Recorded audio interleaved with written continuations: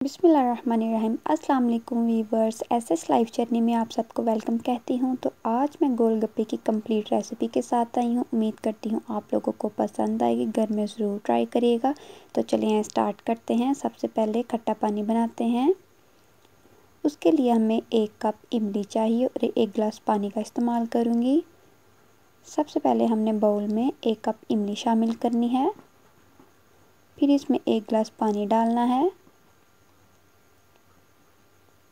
अब आप इसको एक रात के लिए भी रख सकते हैं और दो से तीन घंटे के लिए भी भिगो के रख सकते हैं, लेकिन मैंने यहाँ पे इसको एक रात के लिए रखा था।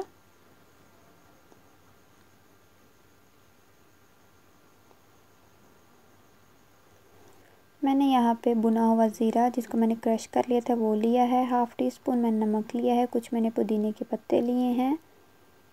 हाफ़ टी स्पून मैं लाल मिर्च का पाउडर लूँगी, हाफ़ टी स्पून मैं यहाँ पे कचौरी पाउडर लूँगी, वन टी स्पून यहाँ पर चाट मसाला इस्तेमाल करेंगे और इमली का पानी लेंगे जिसको मैंने एक रात पहले भिगो के रखा था। अब मैं पानी को अच्छी तरह से मिक्स करूँगी और हम इसको छान लेंगे।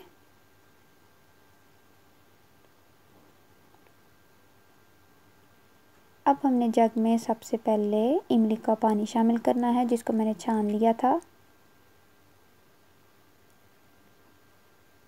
अब इसमें कुछ पुदीने के पत्ते शामिल करूँगी।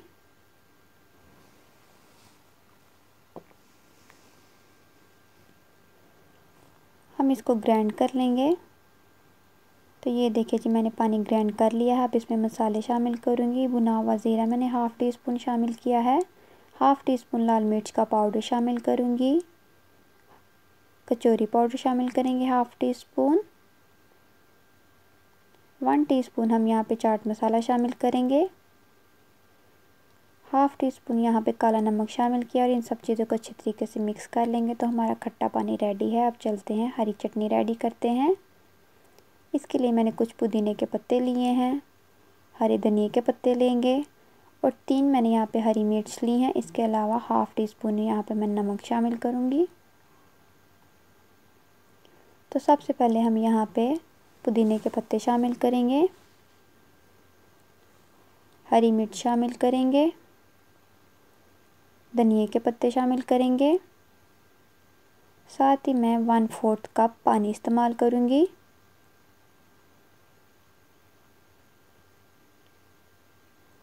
हाफ़ टी स्पून मैंने यहाँ पे नमक शामिल करना है इनमें। आप चाहे तो अपनी ज़रूरत के मुताबिक कर सकते हैं। अब हम इन सब चीज़ों को ग्राइंड कर लेंगे।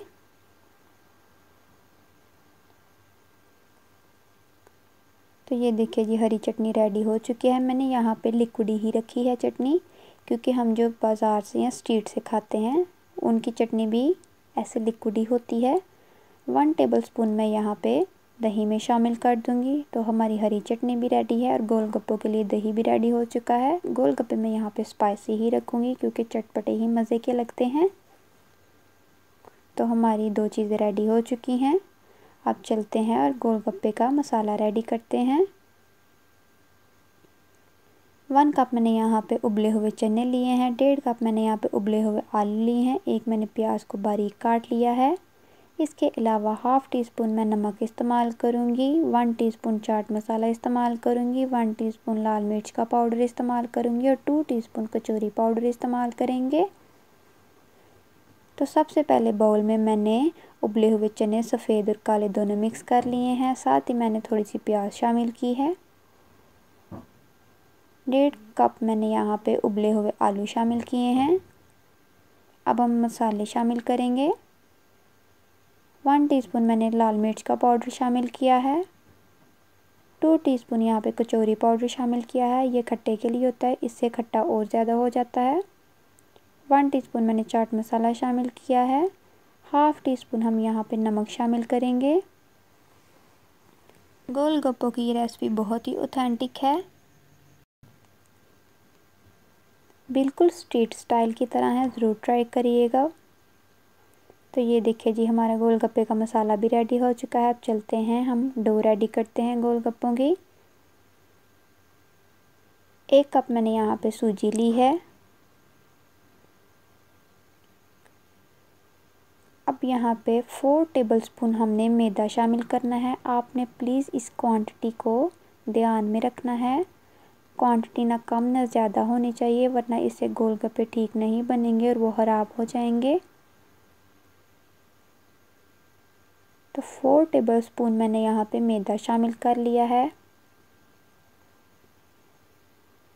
हाफ़ टी स्पून यहाँ पे नमक शामिल करेंगे। अब हम इन सब चीज़ों को अच्छे तरीके से मिक्स कर लेंगे।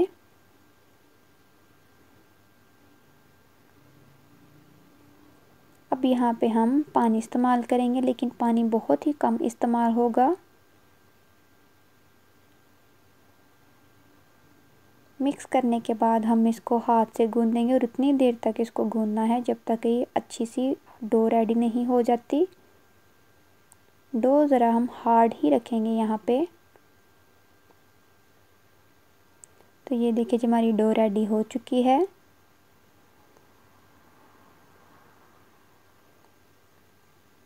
अब यहाँ पे मैं इसको कवर करके रख दूँगी थर्टी मिनट्स के लिए। थर्टी मिनट्स के बाद हम प्लेट हटाएँगे। तो ये देखिए जी, हमारी डो पहले से बहुत नरम हो चुकी है। अब हम थोड़ा सा मैदा डस्ट करेंगे।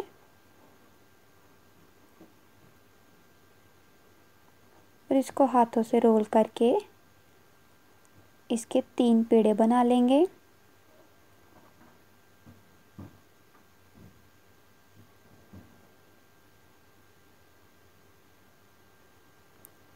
अच्छा गोलगप्पों के लिए हमने रोटी बहुत ही बारीक बेलनी है। अब मैं यहाँ पे रोटी तैयार करूँगी।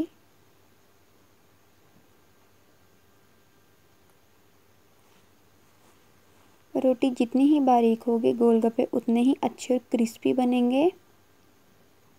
तो ये देखिए जी, छोटे से पेड़े से मैंने कितनी बड़ी रोटी तैयार कर ली है। अब मैंने एक ढक्कन लिया है। ये बिल्कुल गोलगप्पों की साइज़ का है। अब उसके मैं उस शेप से छोटी छोटी रोटियाँ रेडी कर लूँगी। तो ये देखिए जी, मैं सारी रेडी कर चुकी हूँ। अब मैं बहुत ही आराम से साइड का आटा हटा लूँगी। अच्छा इसका हम दोबारा पेड़ा बनाएँगे, इसको हम वेस्ट नहीं करेंगे, इसके दोबारा से फिर रेडी करेंगे हम।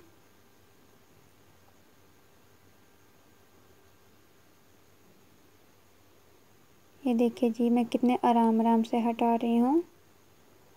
अब मैं वन बाय वन इनको बेलने की मदद से और बारीक कर रही हूँ। क्योंकि ये जितनी ही बारीक बनेंगी, हमारे गोलगप्पे उतने ही क्रिस्पी और बड़े बनेंगे। तो ऑयल को मैंने पहले ही प्री हीट कर लिया था। प्री हीट करेंगे तो हमारे गोलगप्पे फटाफट से बनते जाएँगे। तो ये देखिए जी। एक गोलगप्पा रेडी हो चुका है, जो मैंने आप लोगों के सामने किया है। एक और ट्राई करते हैं।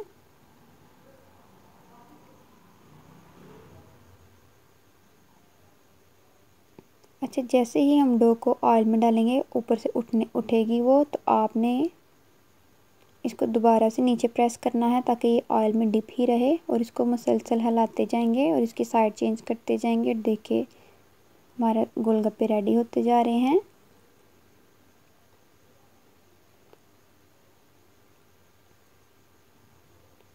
तो ये देखिए जी, हमारे सारे गोलगप्पे रेडी हो चुके हैं। अब चलते हैं और इनकी फिलिंग करते हैं। ये बहुत ही क्रिस्पी बने थे। अब मैं सबसे पहले गोलगप्पे का मसाला शामिल करूँगी। अब हम इसमें हरी चटनी शामिल करेंगे। दही शामिल करेंगे। और खट्टे पानी के साथ ये खाने के लिए रेडी हैं। मुझे यहाँ पे बहुत भूख लगी हुई थी। पहला मैंने खुद ही खा लिया। अब वन बाय वन हम इनको रेडी करते जाएँगे।